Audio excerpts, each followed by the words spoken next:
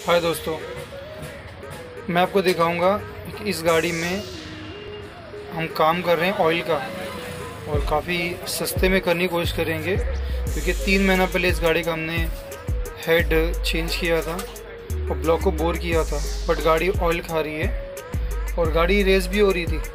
इसलिए मैं भी दिखाती आपको कि हम क्या क्या चेंज कर रहे हैं। तो सबसे पहले मैं आपको दिखाना चाहूँगा, आप देखिए ये। यहाँ पे अपने डाले थे यह भी सही है ये। चेंज नहीं करेंगे। ये क्लच पेड हम चेंज कर देंगे क्लच पेड जला हुआ है। बाकी इसका छेटांग अच्छा है। ये पट्टी है। इस पर थोड़ी सी निशान टाइप का आ चुका है बट चेंज कर देंगे। ध्यान दो, तीन महीना चल चुकी है और आपको हम दिखाते ब्लॉक फिट करने के पहले कभी भी, सबसे पहले, हमें क्रेंग चेक करना पड़ता है। क्रेंग ये क्रेन ये जो ये जो रॉड है, ये ये जो रॉड है, ये साइड प्ले चलेगा, ऊपर नीचे नहीं रहना चाहिए। और ये है इसका क्लच शॉप इसकी बेरिंग हमेशा चेक करनी चाहिए।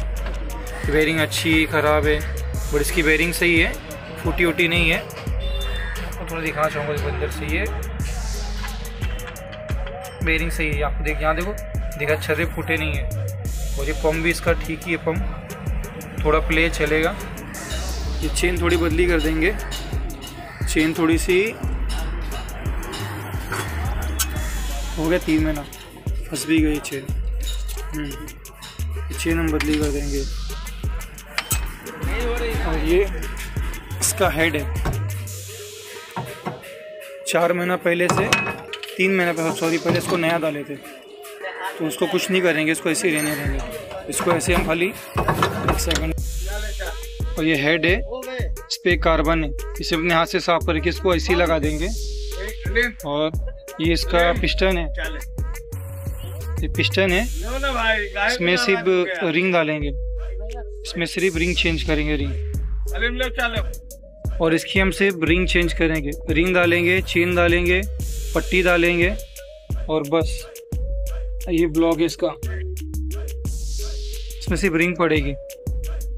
रिंग लाए बबलू तुमने रिंग रिंग लाने गए। देखा उठाओ। ये बेल कट चुका है। ये यहाँ पे ये इसे बदली कर। ये जो निशान है ना ये ऐसा रहने पे तो चेंज करा जाता है। हाँ। और ये सही है। ये चलेगा भी।